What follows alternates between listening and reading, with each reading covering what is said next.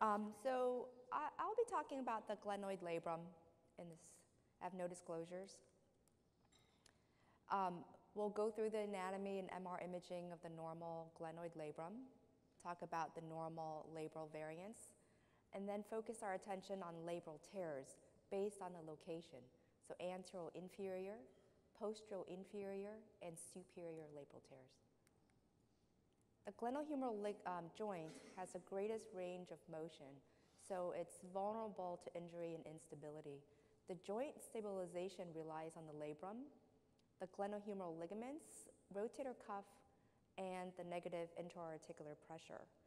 Actually, could you stop the um, looping? I think it's just looping.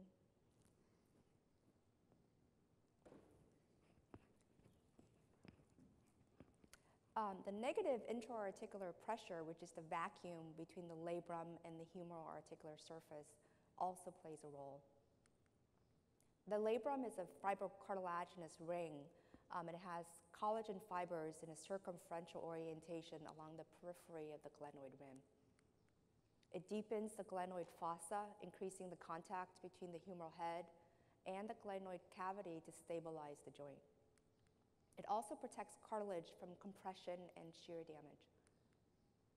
The labrum serves as attachment site for the long head biceps tendon, the superior glenohumeral ligament, middle glenohumeral ligament, the inferior glenohumeral ligament anterior band, and posterior band. The clock face has been described to describe the glenoid labrum. 12 o'clock has been um, superior, 3 o'clock as anterior, 6 o'clock as inferior, and 9 o'clock as posterior. In our practice, we find it's best to describe the labral pathology according to quadrants. So superior, antero-superior, antero-inferior, inferior, posterior inferior, and posterior superior um, quadrants. Our shoulder protocol uh, includes using a dedicated shoulder coil. We image the planes tailored to the glenohumeral joint.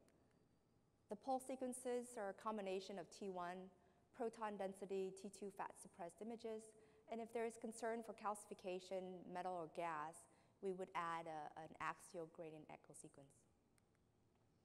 Now, MR arthrography has several advantages over MRI, mainly related to the joint distension.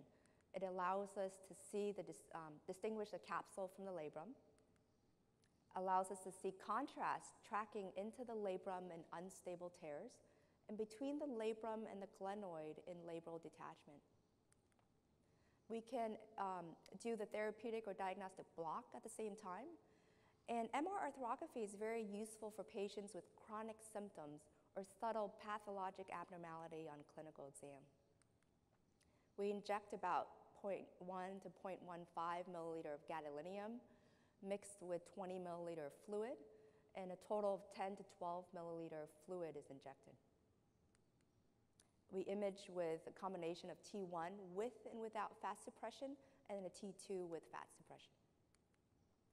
An ABER sequence may be added to your MR arthrography protocol. This um, is imaged when the shoulder is held in abduction external rotation. The elbow is flexed with a hand behind the head, as you can see here on this picture, patient supine. There's the coil. This allows us to see the anterior labrum really well and undersurface rotator cuff tears. So here's an image of the ABER. We image the um, ABER sequence along the long axis of the humerus, and here's the ABER image that we get. Notice the taut antero-inferior joint capsule in this case, and then the posterior superior structures become redundant on this sequence. So let's go through what a normal labrum should look like. On cross-sectional imaging, the most common shape is a triangle. So here we have an axial PD um, fat suppressed image showing a normal triangle appearance of the anterior and posterior labrum. Remember also the normal labrum can look rounded. So here we have an axial MR arthrogram image showing a rounded morphology of the anterior labrum. The signal intensity the labrum should be uniform, low signal, with all MR sequences. In older patients, you can have inhomogeneous signal um, leading to degeneration. So here we have a coronal um, MR image showing the superior labrum with homogeneous dark signal intensity. The cartilage between the labrum and the glenoid is intermediate signal. So here you can see this normal cartilage undercutting underneath that labrum, and this should not be misinterpreted as a labral tear. We evaluate the superior labrum on the coronal oblique plane. So we have on the left a T2 fat suppressed image, on the right is a coronal MR arthrogram image showing the nice superior labrum that's normal, dark in signal intensity throughout, and triangular in shape. If we scroll through the coronal images from anterior to posterior, you can see the, go back, here's the long head biceps tendon. As we follow the long head biceps tendon, you see it going into the anchor. And then the superior labrum is here. And then notice the normal cartilage undercutting beneath that superior labrum. The anterior and posterior labrum are evaluated on the axial plane. Here's the axial proton density fat suppressed image. You can see normal anterior and posterior labrum. Again, homogeneously dark. Notice the smooth capsular um, labral junction. When we evaluate the anterior labrum, we also look for the MGHL. When you follow the MGHL, the fibers should merge with the subscapularis. On the sagittal plane, we can evaluate the entire glenoid labrum in its entirety. We can also see the glenohumeral ligaments. Here you see the superior, middle, and inferior glenohumeral ligaments. Now, the normal variants occur most commonly in the superior and antero superior quadrants of the labrum. The most common um, variant that you'll encounter is a sublabral sulcus or a recess. Um, it's been found to be in about 73% of cadaver studies. It represents a cleft between the superior labrum and the glenoid at or slightly posterior to the long head biceps origin. Remember, this normal variant should be thin, linear, and smooth.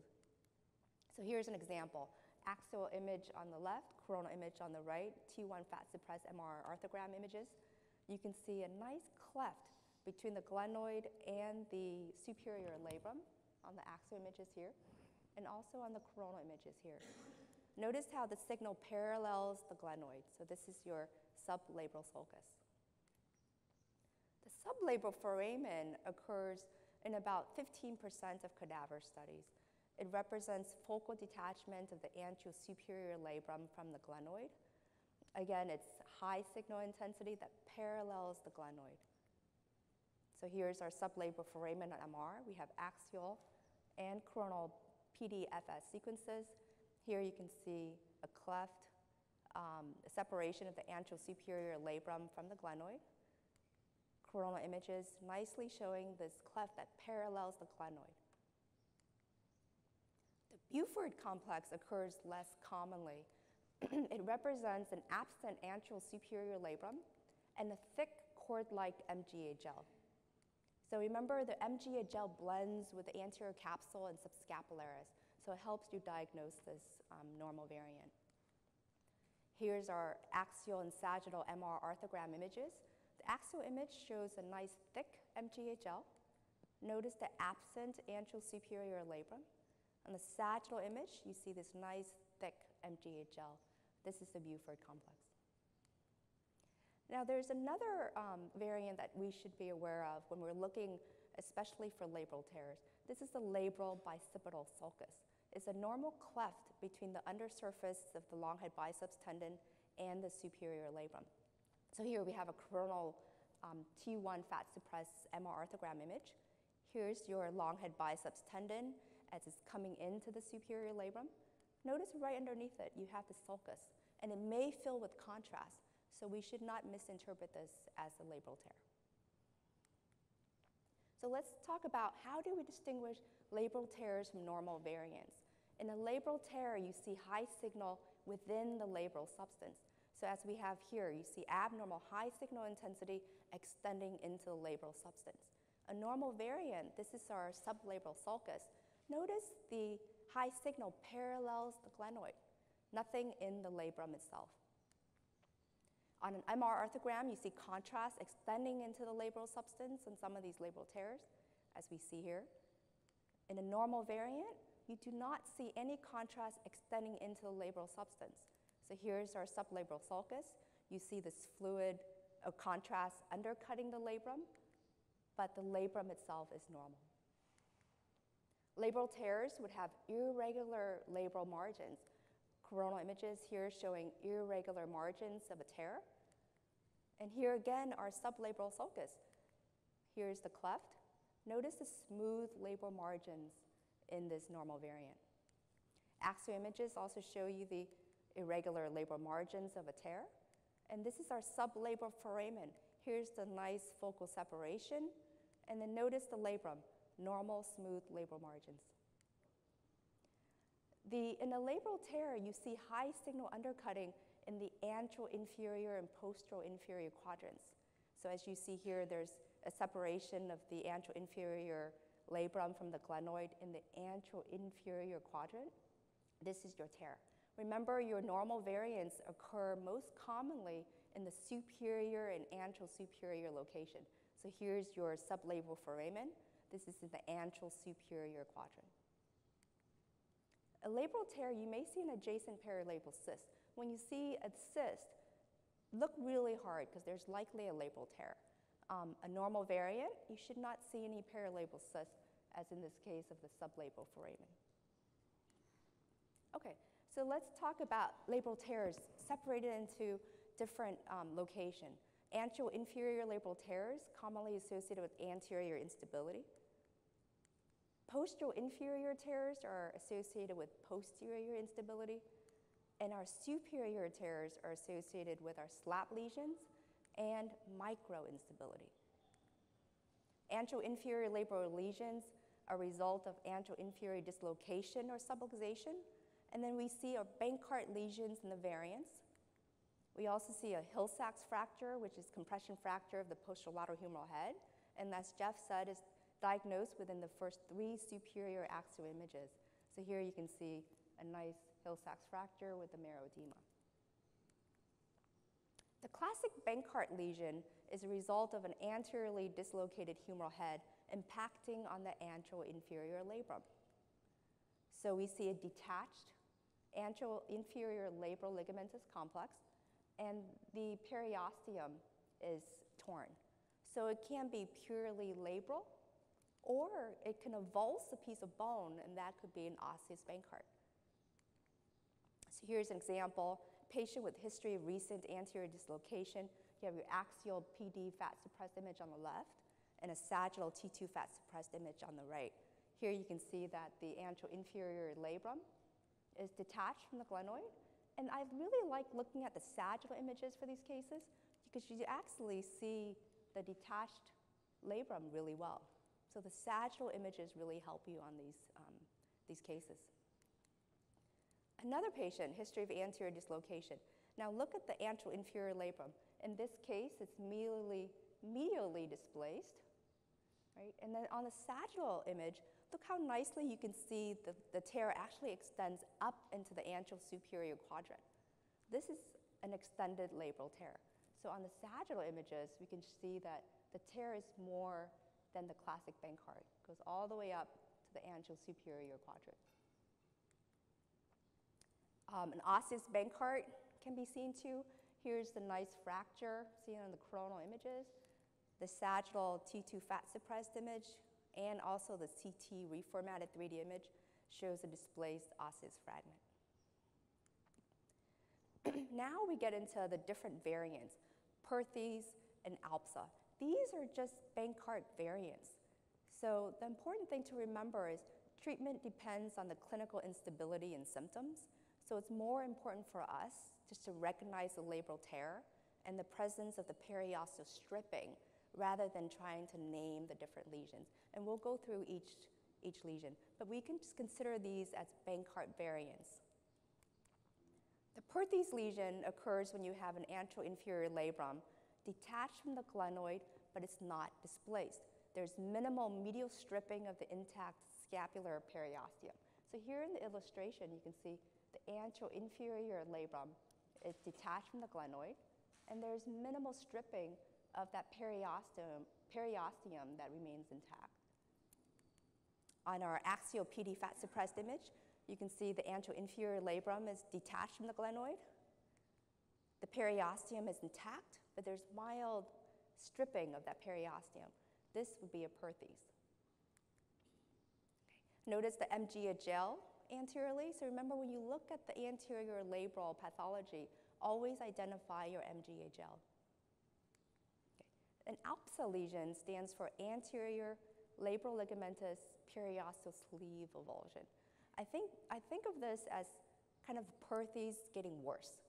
So now you see an anteroinferior labrum that's detached from the glenoid and it's medially displaced. Remember the perthes, the labrum is not displaced. So here it's medially displaced. Look at the stripping of the intact periosteum. You get wider stripping in an ALPSA. So on MR images, here you can see the anteroinferior labrum is detached. And then the periosteum is stripped, allowing actually contrast to fill into that gap. So this is your ALPSA lesion. Now, the ALPSA lesion often is a result of chronic injury and multiple dislocations. It has worse prognosis than the Bankart lesion and a higher arthroscopic failure rate. Um, here's the uh, patient with multiple anterior dislocations. You can see the anteroinferior labrum is medially displaced. The periosteum is intact, but it's stripped. And if you notice that there's actually a lot of scar tissue around here. It's all this dark signal intensity, also on the T1 fat suppressed image. This is a chronic ALPSA lesion. So for us, we describe it. If you think there's a tear detachment, describe there's a tear detachment of the anteroinferior labrum. Is the periosteum intact or not? Rather than actually naming um, these lesions. Um, the next thing, remember to evaluate cartilage in the labral tears when we see these labral tears, look at the cartilage right adjacent to it. So here's your Bankart lesion, and there's kind of like fissuring of that cartilage right adjacent to it. So this patient will get a labral repair as well as a chondral debridement. So always look at that cartilage adjacent to that labral tear. This has been described as a GLAD lesion, a glenoid labral articular disruption. You don't have to use these names, but it's just a reminder for us to look at the cartilage. So initially, this was described in patients with superficial antral inferior labral tears without any clinical instability. But we found that these cartilage abnormalities occur with um, patients with instability. So we just look at the cartilage adjacent to the labral tear, report if you see any cartilage defects. So here we have an anteroinferior labral tear actually is kind of detached from the glenoid here. And then look immediately at the cartilage adjacent to it, and you can see the chondral defect. So this would be a GLAD lesion. Posterior inferior labral lesions commonly result of posterior dislocation and posterior instability. These two radiographs show you like light bulb appearance and then some posterior subluxation here. The reverse Bankart lesion is the detachment of the posterior inferior labrum from the glenoid with tearing of that periosteum. So here's the diminutive posterior inferior labral tear. And notice how the sagittal images are really helpful. You can see detachment of that labrum from the glenoid. Same patient, you get the reverse Hill-Sachs fracture of the anteromedial humeral head. Another case, posterior dislocation tear of the um, posterior inferior labrum, and then sagittal images nicely show you displacement of that labrum. A PULPSA lesion is similar to an ALPSA, but occurs posteriorly. So here you see a detached posterior inferior labrum with stripping of the intact posterior periosteum. Okay. Let's move on to our superior labral lesions, which are, which are the SLAP lesions commonly associated with microinstability, result of minor acute trauma or chronic repetitive microtrauma. Um, you can see this with swimmers or overhead throwing athletes. It's a, actually a difficult diagnosis because patients commonly present with non-specific shoulder pain. In these cases, we find that MR arthrography is very useful. Okay. So SLAP lesions refer to tear of the superior labrum that extends anterior and posterior to the biceps anchor. It can propagate into the adjacent structures, long head biceps tendon origin, superior and middle inferior glenohumeral ligaments. Original classification by Snyder had type 1 to 4. Um, subsequently, as anything in radiology, now we have type 10 types. Um, but for us, really best to be descriptive. Um, just report the labral tear and which structure the tear extends into. Don't worry about typing it because I bet you even the orthopedic surgeons don't remember the different types. Okay, so let's go through some of our SLAP lesion cases. Um, first case here, MR arthrogram image, coronal image. Already you can see abnormal signal into the labral substance. And actually, this is the biceps anchor. So you see abnormal signal going into the biceps anchor there. Um, originally, this is described as a type 2. Don't worry again about the type. What we'll report is this is a SLAP lesion with some stripping of that biceps anchor. Another case, notice how these are mostly MR arthrogram images because we find that arthrogram is really useful to diagnose a SLAP lesion. Okay. So here we have two coronal images. Notice that there's a tiny little fragment of labrum that's displaced, almost similar to your um, bucket handle or meniscal tear with a fragment that's displaced. Here's your biceps anchor, looks intact, right? Dark signal, no high signal going through. We'll report this out as a SLAP lesion with a bucket handle tear of the superior labrum and an intact biceps anchor. It's another case, coronal images again, MR arthrogram. Now you can see abnormal signal in the superior labrum. The right image shows the contrast going into the biceps anchor. Same patient, sagittal image and axial image. Here we can see on the axial images, look at how wide that signal is, separating the superior labrum from the glenoid. The sagittal image, here's the abnormal signal going into the biceps tendon. So this is reported out as a SLAP lesion extending into the biceps tendon. Okay, another case, coronal T1 fat suppressed image on the left, abnormal high signal in the superior labrum, and then the axial T1 image on the right showing the tear actually involves the antero-inferior labrum as well. So this is a SLAP lesion extending into the antero-inferior labrum, which is the same thing as an extended Bankart tear. So just describe the tear and exactly which quadrant it's in. Okay, another nice case here, coronal and axial MR arthrogram images. You can see separation of the superior labrum from the glenoid, a small little cyst that's filling with contrast. On the axial images, showing the same thing. Now we go down a little bit further, axial and sagittal T1 fat suppressed images here. You see abnormal contrast going into the MGHL. So this was a SLAP lesion extending into the MGHL. Okay, this is a 21-year-old male with shoulder pain. MR arthrogram was performed. We'll run through the coronal images from anterior to posterior. So here you go, you see this little fragment of labrum, kind of similar to the case I showed earlier. So there's that fragment of labrum. And now the axial MR arthrogram images. Now notice how the, there's irregularity and high signal going to the SGHL, the superior glenohumeral ligament. There it is there. There's your labral tear. Subtle findings, but we thought this is probably a SLAP lesion that may be extending into the superior glenohumeral ligament. This is a case of, again, chronic shoulder pain. Um, we have the coronal T2 fat suppressed image. Here we're seeing abnormal signal in the superior and inferior labrum. Notice the cysts, paralabral cysts adjacent there. The middle images are your axial um, proton density fat suppressed images, abnormal signal and morphology of the posterior labrum, as well as the anterior labrum. Notice all the paralabral cysts here. Sagittal image shows you nice extension of that abnormal signal into the biceps tendon. Our impression was circumferential labral tear extending into the biceps tendon. So in summary, normal labral variants such as a sublabral recess and foramen usually occur in the superior and anterosuperior quadrants. Normal variants have high signal that parallels the glenoid rim with smooth labral margins. In comparison, labral tears have intrasubstance high signal and irregular labral margins.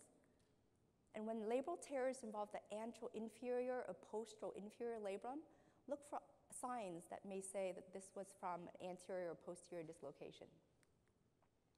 And then in our practice, it's best to describe the slap lesion and the structure the tear extends into.